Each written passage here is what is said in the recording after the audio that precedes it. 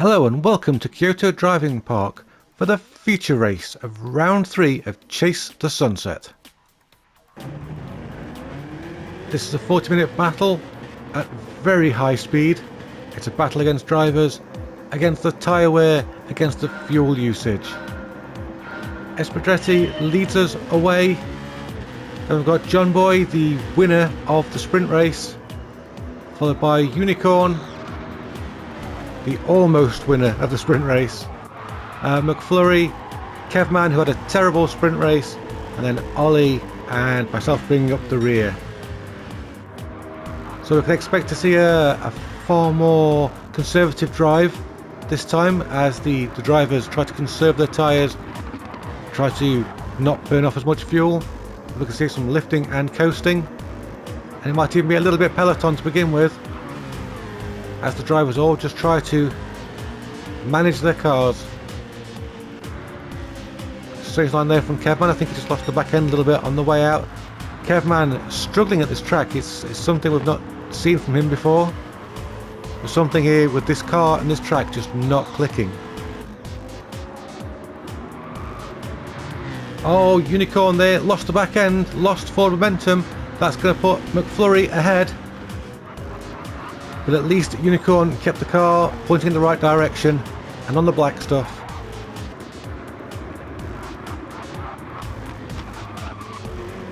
Oh, McFlurry's gone in a little bit tight there and that's going to bunch up everybody behind him. McFlurry putting himself under unnecessary pressure with that mistake. He's gone defensive. Unicorn's going to try and go around the outside, but there's nowhere to go. McFlurry there making his move back onto the racing line. Up at the front while we're watching that, John Boy has slipped past Espadretti. So there's things happening all over the place. John Boy and Espadretti so far in this series have looked absolutely fierce and phenomenal. Uh, Pedretti got the strategy wrong for the tyres in sprint race, but you can expect him to have those tyre strategies nailed down for this one. This race literally twice the length of the sprint race. So all you've got to do is get the strategy right in the first race and then do it twice in the second race.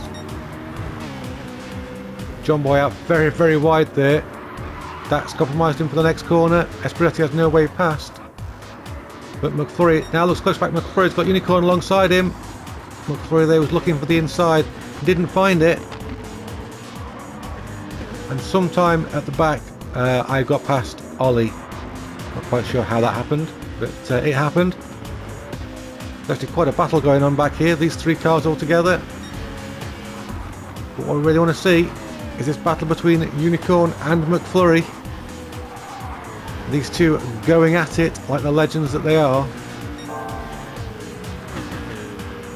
And they seem to be catching up with the front pair. I don't know if John Boy's driving defensively or if John Boy is just trying to conserve his tyres, but oh, Unicorn out very wide there. Gives McFlurry some breathing space. We had some tyre smoke there. John Boy out very wide. Espadretti couldn't get through. But it just shows that even though they're trying to protect the car, these drivers are still pushing.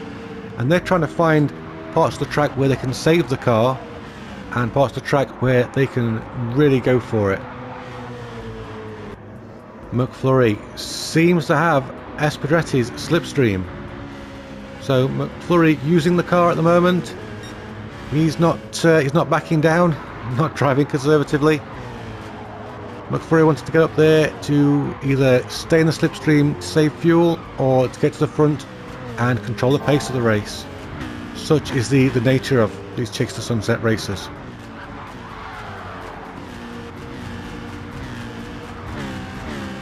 Well, we're just starting lap 9 and look how close the entire field are on that mini-map.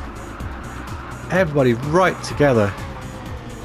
Battling up and down the field. We've got this top three together, although McFlurry's come a little bit away from that. Then we've got Unicorn. Kevman hoping to do better than he did in the previous race. Uh, he had a, a, torrid outing at the sprint race. Oh, he's put himself wide there. There's a grandpa coming through. Mind out, Kevman. Oh, smoke up ahead. Looks like McFlurry has outbraked himself in the first corner. That's allowed Unicorn to come past. A Unicorn there slipping into third place. Meanwhile, Espadretti and John Boy almost side by side there. We've got Pedretti back in the lead. I think these two are perhaps fighting a little bit hard for this point in the race, but uh, you know, if they're controlling the pace, then they're controlling the pace. There's nothing the drivers can do about that. Uh, they must have a strategy in mind to be keeping this pace. Oh, we've got Unicorn out wide. Oh, again, McFlurry taking advantage of Unicorn's woes. Looks like Unicorn having a little bit of an issue today with that final chicane. It is tricky, it can catch you out. Unicorn back to fourth. Kevman not too far behind, but Kevman with his own issues because he's being harassed by myself and Ollie. John Boy looking very close to Pedretti this time. In fact, he's had a great run out of that last chicane. And John Boy drag racing Pedretti. He's got him before the first corner. So that's a great move. That was all set up by getting that final chicane right there with uh, with John Boy. And that's put McFlurry back into the action as he's slowed down Pedretti for him. If you consider the uh, the sprint race, this is actually quite a quiet race right now, although Ollie there slipping through ahead of the Grandpa Mobile. Myself dropping to last place as Ollie makes a, a very sneaky move out of nowhere. Oh, but he's pushing now.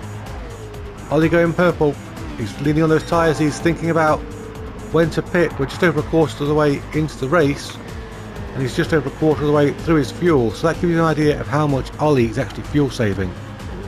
Uh, the, the fuel in the sprint race was about just enough for the 20 minutes. Which means these drivers at the back are really, really saving it. Oh, got some movement there. We've got McFlurry into the pits and Grandpa into the pits as well. So they're both scheduled stops by the look of it. Uh, they're both pitting, I think, for fresh tyres. The question is, when and how can McFlurry and myself catch up?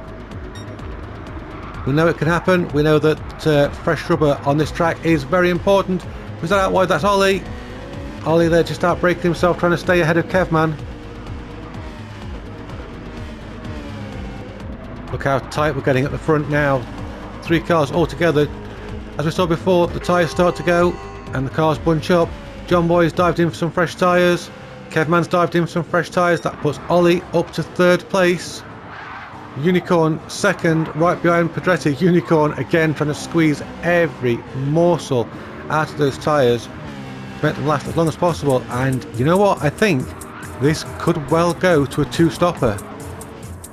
And the way Unicorn's driving, I think they're they're trying to make sure their tyres are as fresh as possible at the very end of the race. So is Pedretti going to dive in the pits to cover off John Boy? Let's take a look. Yes, Pedretti goes into the pits. And, oh, Unicorns hit the pit wall. That's slowed them down, that's cost them valuable time. Ollie in as well. So we think McFlurry then is going to take the lead of this race. There he goes, McFlurry managed to jump John Boy with his uh, pit strategy, so good work McFlurry. He seems to have done that by not fueling up. So McFlurry saving fuel. S. Pedretti down in sixth. He's going to be starting to work his way through the field. In the way that he does, he's another driver who's not taking any fuel. Is that the right move? Well, if the two stopping, there's plenty of time for fuel later. may as well keep the car light as possible now. There's a grandpa around. That is a disaster. There's damage to that car. There's a penalty. There's places lost. Dropping it around this track is just a nightmare.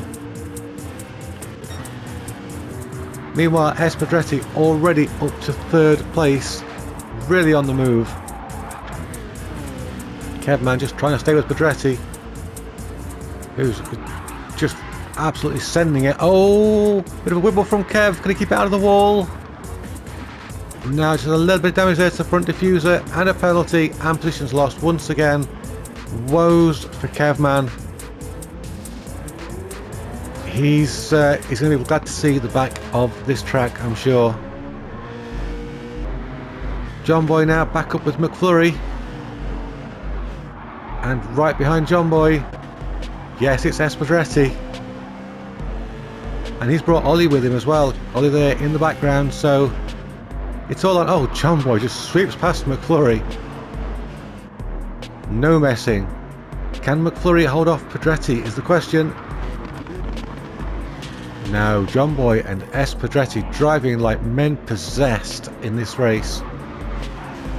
Their rivalry knows no limits. And if you want a rivalry of your own, check out the link in the description for this video for our Discord. Come and race with us. Oh, Grandpa, that is not the correct racing line. 4.5 second penalty. It goes from bad to worse around here, it really does. Unicorn there recovering at the back in the slipstream of this old man. And that is an easy pass there. Unicorn flying back through the field. They're going to want to get to the front once again. Unicorn running their own race. Uh, with a slightly different strategy to everybody else. Let's see if that strategy, making those tyres hold on for as long as possible, is going to pay off at the very end. It's exactly halfway through the race and now we can really start to look at people's strategies. So John Boy definitely needs a fuel stop before the end of the race. That's going to hurt him when he stops. Uh, can make it, but he's going to have to really conserve fuel. Same as McFlurry, in fact Espedretti and McFlurry on pretty much identical fuel levels. Ollie need to splash a little bit of extra fuel unless he's thinking about saving fuel with a, a lower engine mode. Unicorn is fueled to the end of the race, so Unicorn's going to try and get those tyres as far as possible, drop into the pits near the end, and be on fresh rubber with a very light car right at the end of the race. Kevman could maybe make it. Might be looking at the same kind of strategy.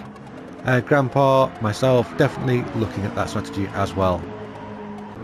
John Boy, I think, is starting to pull away a little bit from Pedretti and McFlurry in the background beginning to catch up.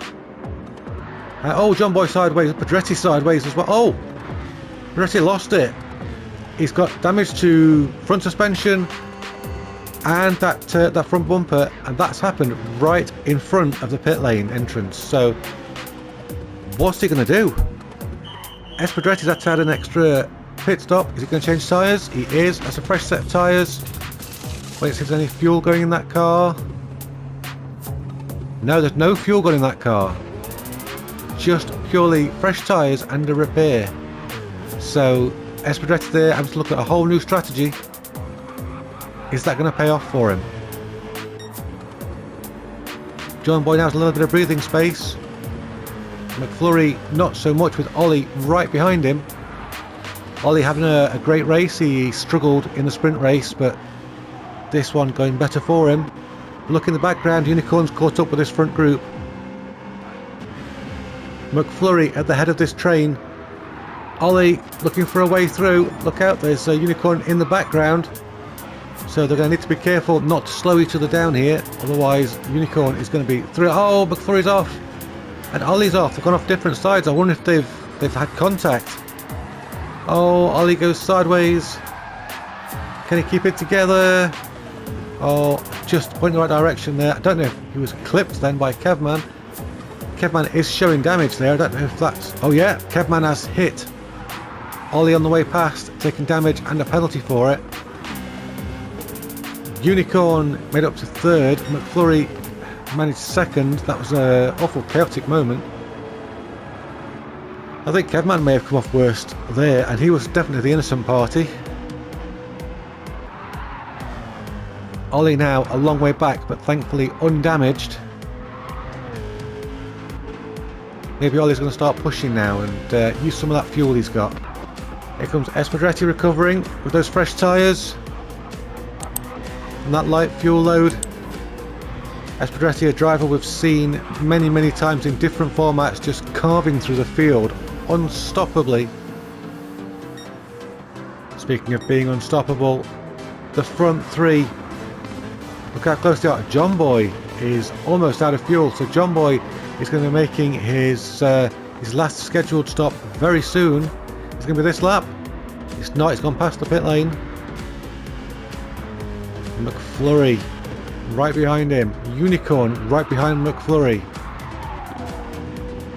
Unicorn looking like they're getting ready to uh, stop some tyres. Of course, if John Boy stops now, those tyres are going to have to go a long way. There's Ollie making a scheduled stop.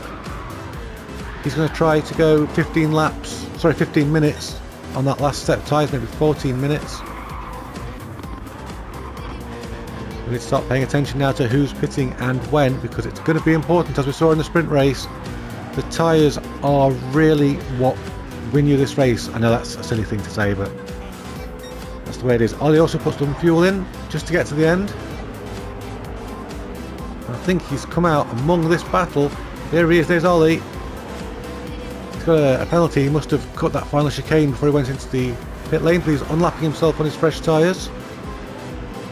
John Boy, will he pit and hand the lead to McFlurry? That's the question. Or does he think he's got enough fuel to go around for another lap? He's certainly got the tyres to keep going for a little while. Is he going in? No, John Boy keeps going. He's absolutely on fumes. Trying to make his pit stop as short as humanly possible. And he's doing well. He's staying ahead. At the moment, I think um, Ollie there may have tripped up McFlurry as he was unlapping himself, but it's Ollie's right to unlap himself if he's fast enough. He's going to try and get past John Boy now. I think John Boy's just going to let him through. There's no point fighting with a back marker. All you're going to do is cost yourself time and uh, potentially cause yourself an accident. John Boy surely pitting this time around. Here he goes, into the pits. So the battle for lead now is Unicorn and McFlurry. Uh, there's Grandpa Mobile also in the pits. John Boy going in with just uh, 1% of fuel there. So myself and John Boy looking at about 12 and a half to 13 minutes of tyre requirement. That should be doable surely.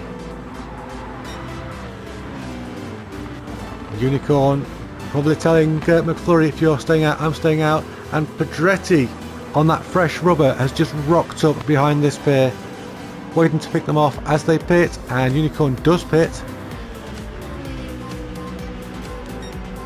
So Unicorn's tyres have got about one less minute than others to go. Kevman also pits. This is so strategic here the the tyres haven't been as important in the previous races but on this track such heavy loads to those fast corners make all the difference. Pedretti all over the back of McFlurry. Is this going to inspire McFlurry to pit? Or is he just going to run his own race? He's certainly running out of rubber and now he's run out of first place. Espedretti off to take his victory. No, McFlurry's running his own race. He's going to stick to his strategy. He's not going to panic. McFlurry's tried to to be the last of the pit stopper to, uh, to ensure that he has the freshest rubber of all the drivers at the end of the race. It's a gamble because he's clearly losing time at this point. Meanwhile, John Boy currently on the back of Kevman. Okay, Pedretti has pitted again. He's got no damage, but this is what looks like his actual scheduled stop. He's not going to be caught out. He's clearly seen other drivers are catching up. And he's going to make the use of some fresh rubber. He's, putting fuel, he's put some fuel in. So Espedretti there may have been concerned by his level of fuel. Alright, so uh, we've got a battle on. Amazingly, uh, myself up there in second place. Uh, yep, everybody's shocked. Unicorn, though, in third place isn't going to stand for that. We've definitely got a battle on here. Uh, the Grandpa Mobile, the Unicorn, Espedretti there in the background, Kevman, John Boy, everybody very close. Ollie perhaps not having the race that uh, that he should be having, but still pushing. Here we go down towards the hairpin. Pedretti steps out of Unicorn slipstream, but Unicorn, oh, has a bit of a, uh, a lag moment. So we weren't quite sure who Unicorn was there. Uh, but now everything's okay again. Espadretti trying to get away from John Boy, who's coming up at the back of this pack. Pretty moves to the inside. There we go, that's second place. Just behind we've got uh, John Boy here. Trying to make it past Unicorn. Kevman trying to make it past John Boy. It's all on. It is all on. It's going to be all on until the end of the race now. I think that's all the scheduled stops done. Except possibly McFlurry. Who's really... Oh, there we go. That's his scheduled stop. So McFlurry's tyres are only going to have to do about 8 minutes or so.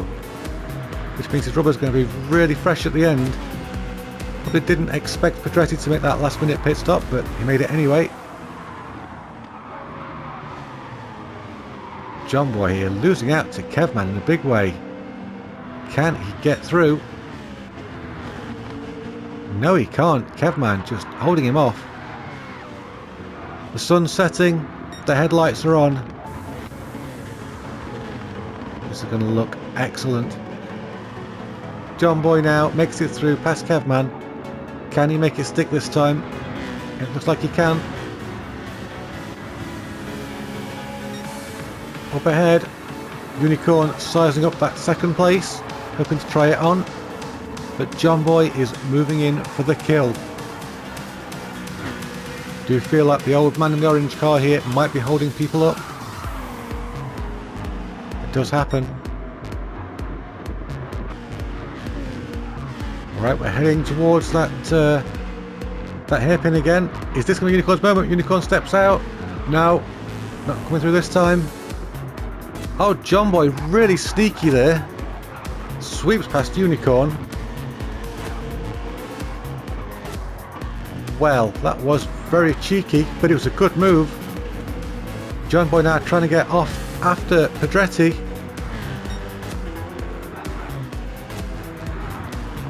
There we go, up into second place.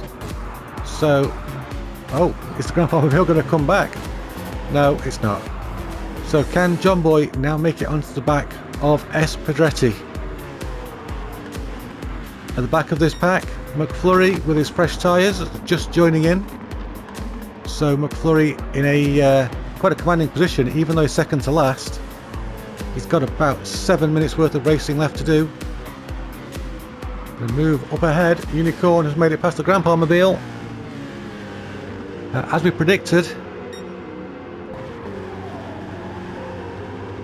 Is Kevman going to come through next? Kevman sizing up fourth place. Going to try and go around the outside. Nope. Ducks back in to the slipstream. Here we go again. Kevman making the move up to fourth. A good clean move. Will he hold it?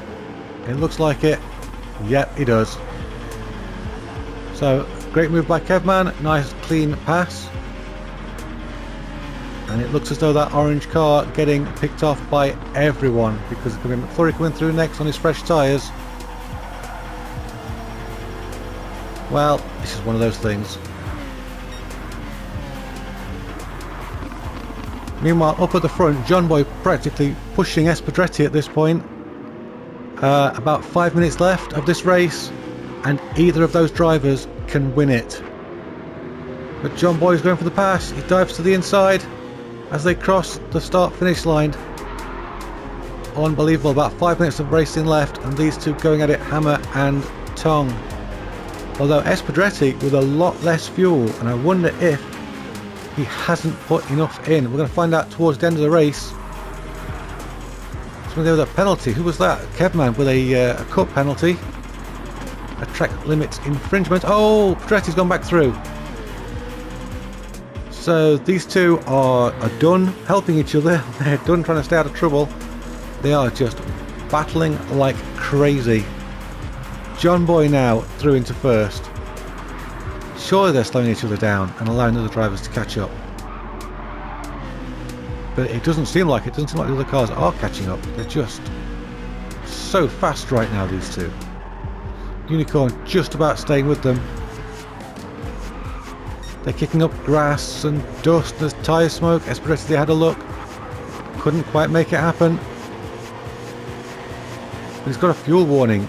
can S. Pedretti make it, especially at this pace?